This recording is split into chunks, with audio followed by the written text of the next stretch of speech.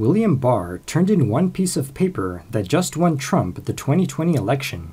Democrats thought they had the 2020 election in the bag.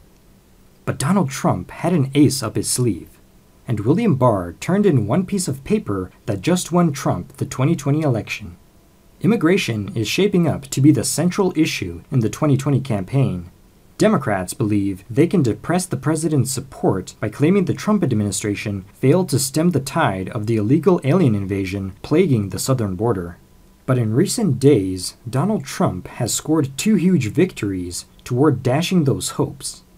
First, the Supreme Court ruled the president could use military construction funds to build the wall, while a lawsuit seeking to stop the effort worked its way through the courts.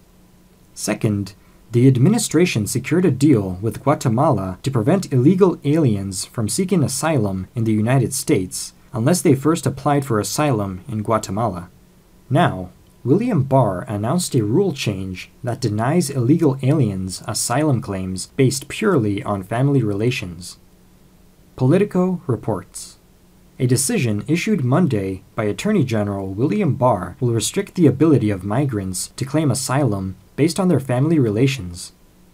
In a precedent setting immigration court opinion, Barr said that being part of a nuclear family targeted for persecution doesn't qualify as a particular social group eligible for asylum in the United States.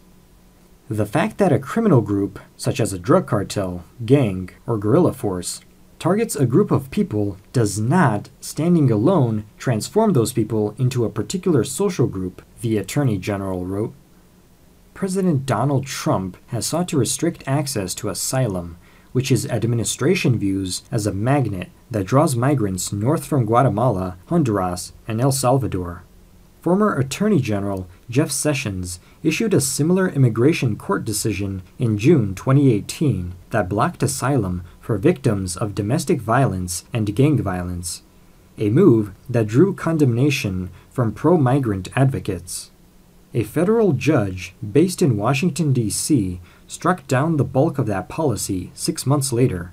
Immigration animated Trump's base in 2016 and the president showing progress on his efforts to follow through on his crackdown on illegal immigrants will ensure that his base turns out in 2020. We will keep you up to date on any new developments in this ongoing story.